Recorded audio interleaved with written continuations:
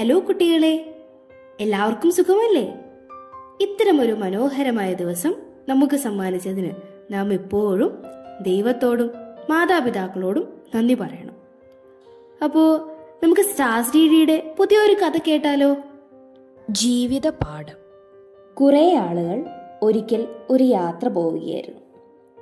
അങ്ങനെ അവർ ഒരു ചെറിയ പട്ടണത്തിൽ എത്തിച്ചേർന്നു രാത്രിയിൽ യാത്ര വേണ്ടെന്ന് വെച്ച് അന്ന് അവിടെ താമസിച്ചിട്ട് അടുത്ത ദിവസം രാവിലെ യാത്ര തുടരാൻ അവർ തീരുമാനിച്ചു. നടന്നു വന്നതിനാൽ എല്ലാവർക്കും നല്ല മടുപ്പും വിശപ്പും ഉണ്ടായിരുന്നു. രാത്രി എന്തെങ്കിലും കഴിക്കണമല്ലോ. ഭക്ഷണം പാകം ചെയ്യാനുള്ള തയ്യാറെടുപ്പായി പിന്നെ. ഒരാൾ പച്ചക്കറി വാങ്ങാൻ അടുത്ത ചന്തയിലേക്ക് പോയി. ഇല വെട്ടാൻ ഒരാൾ പുറപ്പെട്ടു. മൂന്നാമൻ അരി വയ്ക്കാനും ആരംഭിച്ചു. ചന്തയിൽ പോയ മാന്യൻ അല്പം ആയുർവേദ പരിജ്ഞാനമുള്ളയാളായിരുന്നു. ചന്തയിൽ കണ്ട പച്ചക്കറികളൊന്നും പോഷക ഗുണമുള്ളതല്ല എന്ന് കണ്ട് അയാൾ ഒന്നും വാങ്ങാതെ മടങ്ങിപ്പോന്നു.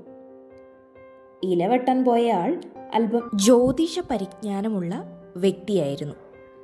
അവിടെ ചെന്നു ചേർന്ന സമയം വെച്ച് നോക്കിയപ്പോൾ നല്ല കാര്യങ്ങൾക്ക് പറ്റിയ വേളയല്ല അതെന്ന് കണ്ടെത്തി മടങ്ങിപ്പോന്നു. സംഗീത വിദ്വാനായിരുന്നു മൂന്നാമൻ. അരി തിളച്ചു തുടങ്ങിയപ്പോൾ മുതൽ അദ്ദേഹം ഒരു പാത്രത്തിൽ താളം പിടിക്കാൻ തുടങ്ങി.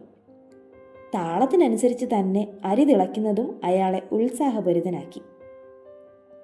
എന്നാൽ ഇടയ്ക്ക് തീ അല്പം കുറഞ്ഞതോടെ തിള കുറയുകയും അതോടെ താളം തെറ്റുകയും ചെയ്തു.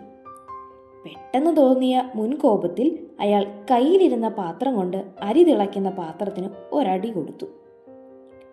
അടിയുടെ ശക്തിയിൽ പാത്രം കമിഴ്ന്നു വീണു. അരിയും വെള്ളവും മണ്ണിൽ തൂവിപ്പോയി. ഇനി എന്തു ചെയ്യും? ഈ രംഗം കണ്ട് മറ്റുള്ളവർ അയാളുമായി വഴക്കുകൂടി. അങ്ങനെ ആ രാത്രി ഒരാഹാരവും കഴിക്കാനില്ലാതെ എല്ലാവരും പട്ടിണി കിടക്കേണ്ടി വന്നു. ഈ കഥയിൽ നിന്ന് കൂട്ടുകാർക്ക് എന്തു മനസ്സിലായി?